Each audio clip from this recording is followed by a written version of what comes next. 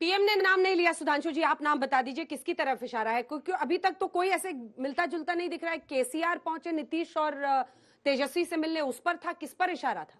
समझने वाले समझ रहे हैं, ना समझे वो अनाड़ी है।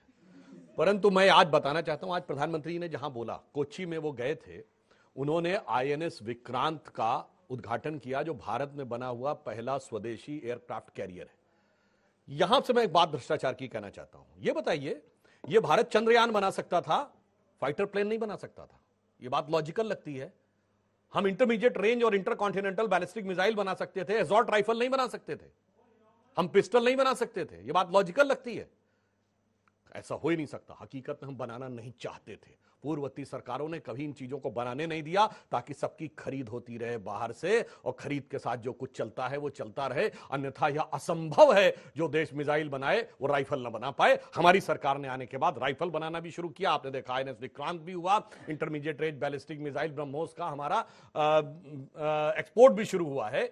यही पहली शुरुआत है कि ईमानदारी से नियत क्या थी भ्रष्टाचार करने की? और दूसरा जो बताया कि सबसे ज़्यादा जाके लगा, बिहार में पहुँचा। तो ये बताइए, लालू प्रसाद यादव जी के ऊपर चारा घोटाले का आरोप कब लगा? कब चार्जशीट हुए? उन्नीस सौ छियानबे, सत्तानबे में जब जनता दल की सरकार थी, उन्हीं की पार्टी की सरकार थी केंद्र में। देवगौड़ा जी प्रधानमंत्री थे, हम कहीं नहीं थे। हम लोग बचपन से जवानी पूरी पूरी कर गए उनका जेल से अंदर बाहर आते जाते रहे और कह रहे हैं आज मोदी जी जिम्मेदार है। मतलब गजब का तर्क ये लोग देते हैं। अब ये बताइए मुलायम सिंह जी के ऊपर मायावती जी के ऊपर किस जमाने से आरोप है? हम लोग थे कहीं। डीएमके के नेताओं पे किस जमाने के आरोप है? जब हम सत्ता में नहीं थे। ये कह रहे ना कि कोई हमारे सारे ईडी के रेट तो आप हाँ, करा रहे हैं ना सीबीआई के रेट सारे उसी बिंदु पे आ रहा नेताओं पर आप हूँ जब हम सत्ता में नहीं थे तब बताइए क्यों सीबीआई ईडी हमारे नेता के यहाँ पहुँची हो? बताइए। उस जमाने में टू घोटाला इनके नेता के द्वारा, कॉमनवेल्थ का इनके यहाँ, कोयल घोटाला इनके यहाँ, और तो और, बाकी छोटे मोटे नेता तो छोड़िए।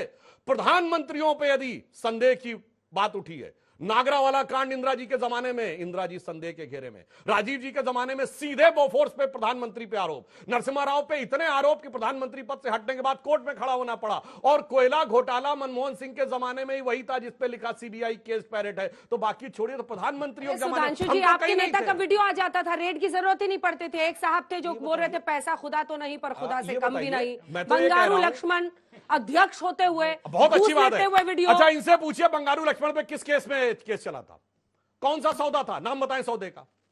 थी जो सौदा था ही मत आपके अध्यक्ष थे हाँ मैं वही कह रहा हूँ आप ही बता दीजिए। सौदे का नाम बताइए वीडियो था सौदे का नाम बताइए। कौन सा मतलब। जिसके ऊपर केस हुआ वो एक अलग विषय है। मगर मैं ये जो बात कहना क्या उलझाया? क्या जलेबी बनाई? नाम बताइए नाम क्या जलेबी नाम बताइए नाम बताइए। मैं तो नाम बताइए क्यों? पैसे ले रहे कौन सा सौदा था? भ्रष्टाचार पर सौदा का नाम बताइए। यही मैं कह रहा हूँ। जब जैसे आरोप है आबकारी नीति। आरोप है बोफोर्स आरोप है बताओ तो कौन सी चीज़ की खरीद का चल अपने था? आप को जरा कौन सी खरीद का था? ही बता दीजिए। वजह बताइए बंगारू लक्ष्मण कौन सी खरीद हम तो कह रहे मौका राजीव गांधी पे बोफोर्स में आरोप था मनमोहन सिंह जी पे कोयला घोटाले में था नरसिम्हा राव पे चीनी घोटाले में था इंदिरा जी पे नागरावाला में था नेहरू जी के जमाने में कृष्णा मेनन में जीप घोटाले में था। बताओ तो नाम। अरे ताली नहीं बजे अभी बता रहे नहीं रुकिए। इसलिए मैं बता रहा हूँ। अब मैं इस पे आ रहा हूँ। देखिए इसीलिए मैंने हो गया, हमारी तो बारी थोड़ा प्रधानमंत्रियों पे बता आरोप लगे और जब हम सत्ता में छोड़िए हमारी हैसियत नहीं थी तब आप लोग आरोप दो सीटों वाली हम पार्टी थे तब आपके प्रधानमंत्री पे आरोप सुनिए। मोदी जी पे आरोप लगाना बिल्कुल निराधार।